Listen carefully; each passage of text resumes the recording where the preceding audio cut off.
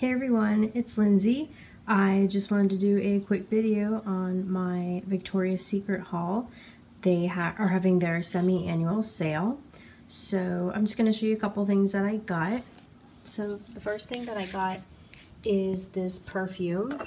This is the Bombshells in Bloom.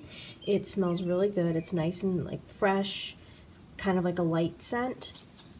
And here's the box here and I actually have the ingredients on the back, or the notes. Forever Flirty, Always Sexy, Bombshells in Bloom. So it has the pink freesia, red apple, and water lily. So super, super fresh smelling. So that was one of the things I got. And then the next thing I got is this detox wash. It's a charcoal purifying body wash. Then I picked up this really pretty sweater. It says Cali on it. Sorry. Open it up for you. And it's all sequiny and gorgeous. It just says Cali and then pink. So that was a really good deal on that. I think I paid like $15 for that.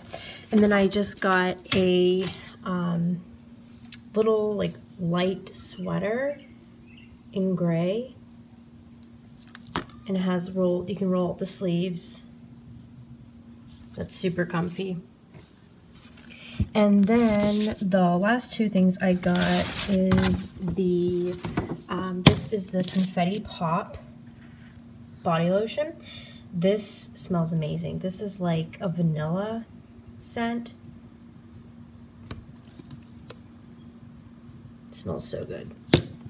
And the last thing that I got is this body lotion as well. It is Festival Crush Solar Blooms with the Band. This smells like kind of like strawberries a little bit. So fruity. Alright, that concludes my mini Victoria's Secret semi-annual sale haul. Thanks so much for watching. Please like and subscribe.